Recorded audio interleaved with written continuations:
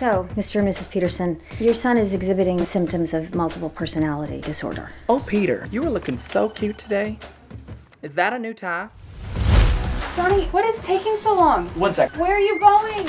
What are you doing? All right, that is not happening. Oh, yes, it is. No. Uh huh. No, it's not. Come on. No. Yes. I got cobwebs down there. Yo, we gonna go get a pump in or what, bro? You punch like infant. I mean, talk about a bunch of idiots. What has gotten into you today? Please be quiet. Open up, please. Come back later, please. Open the door. Um, don't do it! I just can't. You guys made me lose my job, my apartment, my girlfriend. Hey!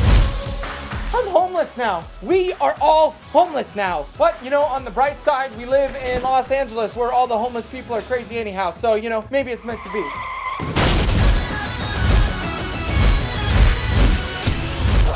There's a spirit. Shut up, Jack. Okay.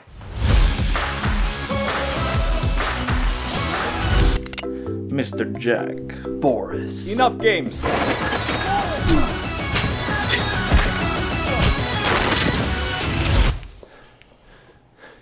Well, least was waste of time.